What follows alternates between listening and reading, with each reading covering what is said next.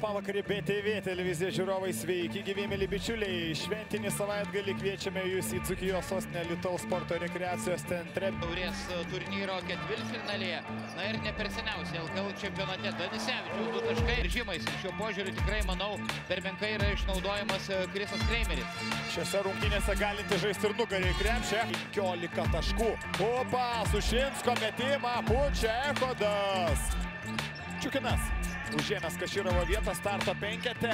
Kelisonas taikliai. Dvigubina Litiškiai. Turi gynyboje vienu žaidėjų mažiau. Vieną įdomų faktą, gal po šios atakos Viginso taškai 25, Ramūnas Šiškauskas 15.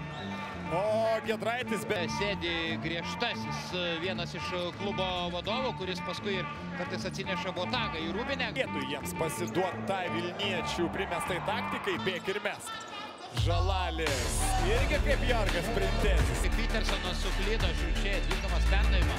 Kaip gražiai sujudėjo kamolės, pavyzdinė Dzūkų kontrataka. Žaidėjai gali keistis ginamaisiais.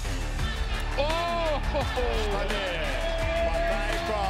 Net prasiveržimais gali nuolat draskyti varžovų gynybą. Bet gali pataikyti ir iš toli, o Rokas Gedraitis ketvirtas, tritaškį pasiima pirmas. Čia buvo pražanga tikrai, bravo, Rokui Gedraičiui iš viršaus Mauro Kefolydis. Dabar tik, o kaip, klėsta Butkevičius ir įspūdingas, įspūdingas Kelisono skrydis. Kairė, į kairę.